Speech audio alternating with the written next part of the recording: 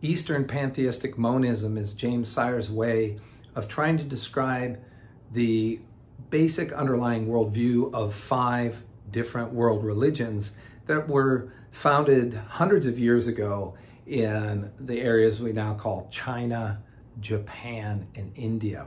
And these five religions are Hinduism, Buddhism, Shintoism, Taoism, and Confucianism. And I don't want you to be confused, so we're going to try to uh, explain what Sire is talking about here. But these religions came about during the time of basically the writing of the Old Testament. From uh, Moses to Malachi, there was about a thousand years there, 1400 to 400 BC. And India, China, and Japan those are countries that are in the East. And the idea of pantheistic is the idea that everything is God.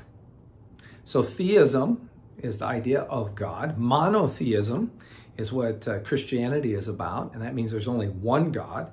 Polytheism means that there are many gods, but pantheism means that everything is God. When you when you put everything all together in the entire universe, that becomes an understanding of God. And what the Bible teaches is that God created everything and he's over everything, but he himself is uncreated. There's a separation, a distinction between the creator and his creation. But pantheism doesn't have that distinction.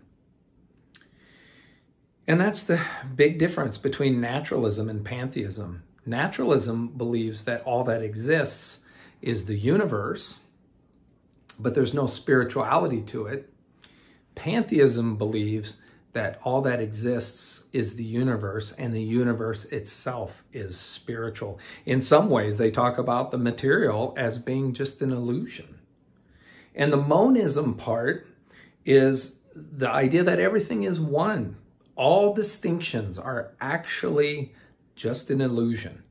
Good and evil are one. God, to the pantheist, is not a person, but more of an energy.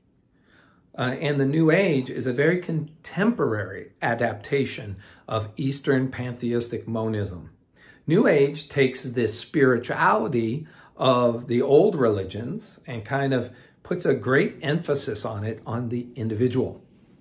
And uh, the individual is elevated to the highest being of their own in order to be God, in contact and in control of the entire universe.